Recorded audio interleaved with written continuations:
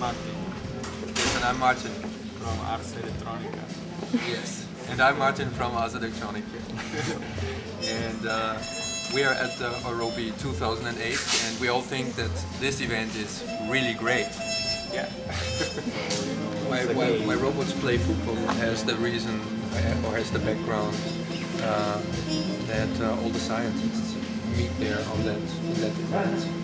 They use that uh, as a platform and uh, not as a platform as sportsmen, much more as a platform as a scientist. So and the background of uh, football robot uh, is a very very serious one because uh, they are all looking for ways, for example, how to uh, move weapons, uh, hidden weapons out of uh, dangerous areas. Uh, it should all help us not to not to get in uh, situations where we we could lose our lives. Yeah.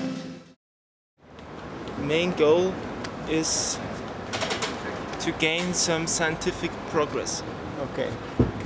The, the basic idea when Robot Soccer was founded about 10-15 years ago was to create an, a standard environment where different teams could implement their solutions for specific robotics so they can compare their solutions and can find out which solution is better and which is not so good and how they can improve them together. Robot soccer itself is something uh, a little bit about fun as well, Yeah.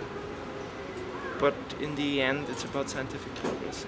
Technical and algorithmical solutions that have been created and built by various teams have been used in robots that find landmines or could move in an interstellar environment like on Mars. Uh, another aspect is that we want to have fun here about Yeah. those about those uh, four days, and uh, up to now we have it. Thank you.